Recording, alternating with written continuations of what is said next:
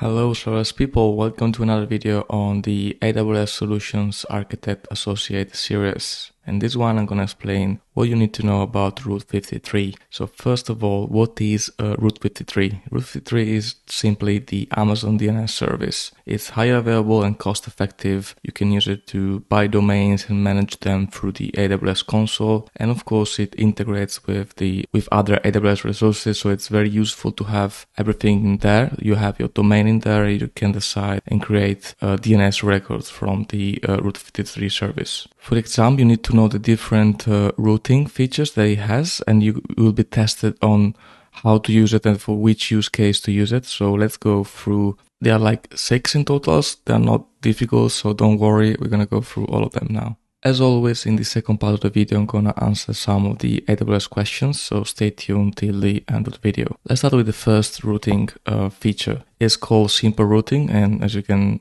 Imagine it used to configure like standard DNS record, usually it's for A record. So you, you can route the traffic to a single resource. It can be used either with like a, a, single resource. So you put the IP address of your resource or you can specify multiple values, which are of course multiple IP addresses for a single record. This is called the multi-value answer. And this is used when you have, let's say, when you have like a multiple number of web servers, all of them with uh, an, an elastic IP and you want to use the simple routing and put like more than one IP address in the single record. In this way, AWS is going to reply with uh, a multi-value and the DNS and your user can basically go to one of the IP address that you specify in the record. Second one is weighted routing. So basically with weighted routing, you can associate multiple resources with a single DNS record and specify the weight of the traffic that you want to go to a specific uh, IP address. The way you do it is that you put the weight for each specific record and then AWS is going to divide the weight by the sum of the weights for all the records. So if you put like five as a weight for resources A, five to, five to resources B, five to resource C, it's going to be to resource A is going to be one third of the traffic and same for B and C. It's going to be like 5 divided by 15 and the same thing for resource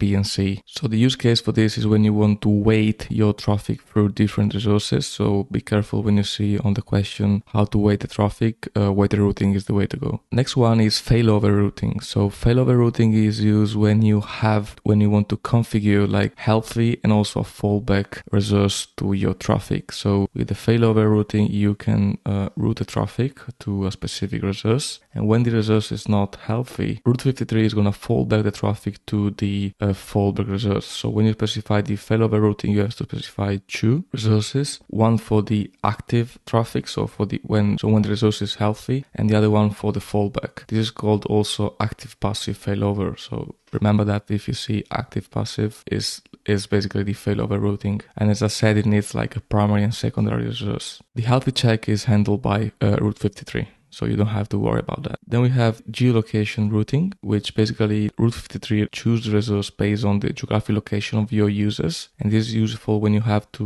localize your content. So maybe you want to show the website in a specific language or you want to show resource only restricted to that specific country. It is configurable by continent, country, and also state in, if you are in the US. And this also in the question is usually used when they ask you to, when there is like a context of using different website for the geolocation of the user, you want to go with geolocation routing. Then we have geo-proximity routing, which is something a bit different because it routes the traffic based on the geographic location of your user and resources. You can configure this using like a bias. So you put the bias of the region that you want to use and Route 53 is to uh, route more or less traffic based on the value of the bias. Last one is latency, which is also this one. And this is very important because it, it comes up on the questions uh, very often. So latency basically route the traffic based on the AWS region with the lowest latency and this is of course uh, computed by Route 53. You can create like latency records for your sources in multiple AWS region. So based on the latency of the AWS region and from where the user is uh, requesting resource, Route 53 is gonna handle the traffic and forward it to the lowest latency region. Alright, now that we've seen all the uh, different, you know, routing features, let's go through the AWS questions and reply to a few of them.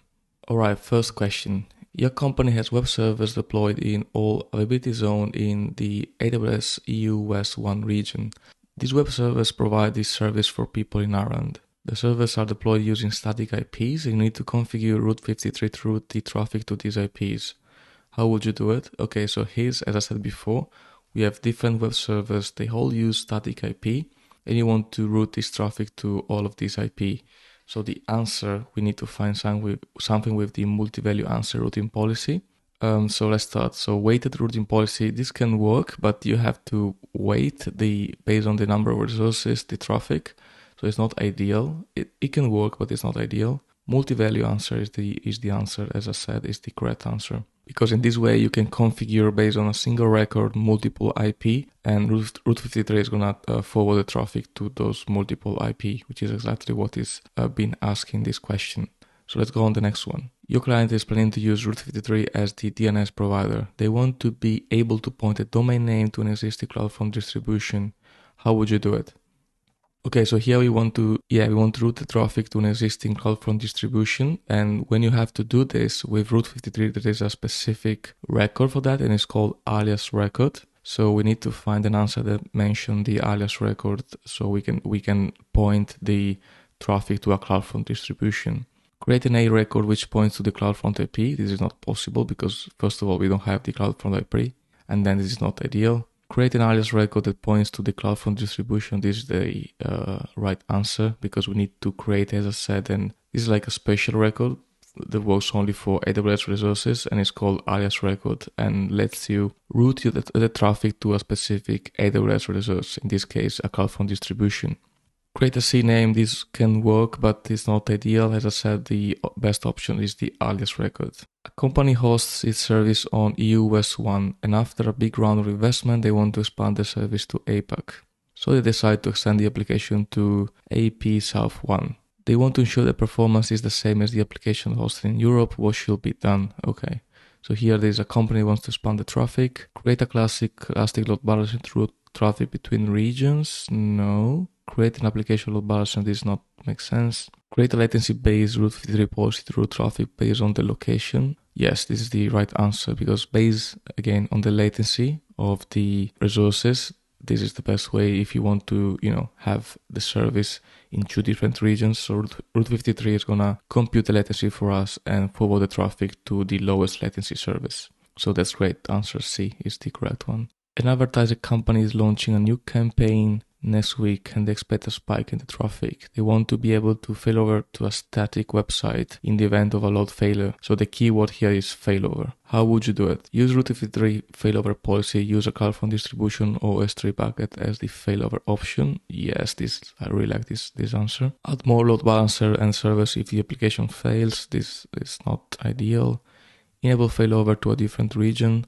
This is very generic add AWS Shield service in front of the instances. The if you don't know that uh, AWS Shield is to prevent DDoS attack, but this is not what is being asked by the question. So the correct answer is A. Put a failover policy, use CloudFront distribution or S3 as the failover option. Okay, next question. You have an application on AWS composed of EC2 instances, load balancers, auto scaling, and Route 53. You want to enable blue-green deployments, which Route 53 policy you should use. Okay, so enable blue-green deployments is basically being able to have two different environments at the same time with a weight. So let's say you want to use 50% on environment A, which is like blue, and 50% on environment B, which can be the green. In this case, as I said, we need a weight policy. So the answer is going to be answer letter D, because to enable blue-green deployments, we need to be able to weight the traffic to different resources. Next question a company wants to host an active active website between the on-premises infrastructure and AWS. Okay. They want the traffic to be equally distributed. Which policy do you need to achieve this? Okay, so they want the traffic to be equally distributed and um, the only way to do that is by a weight policy again, with like 50% of the weight on the on-premises infrastructure and the other 50% on the AWS. And you can, you can specify the weight when you configure the Route 53 record. Alright, last question. Company has four web servers with static IPs. They want to ensure that the DNS returns multiple IP addresses. How would you do that? Okay, this is again very similar to the first question. We have four web servers with static IPs and they want to the DNS returns multiple IP addresses, the only available answer is going to be multi-value answer routing because as I said, I'm going to say it again, you can configure multiple IP addresses with this uh, configuration.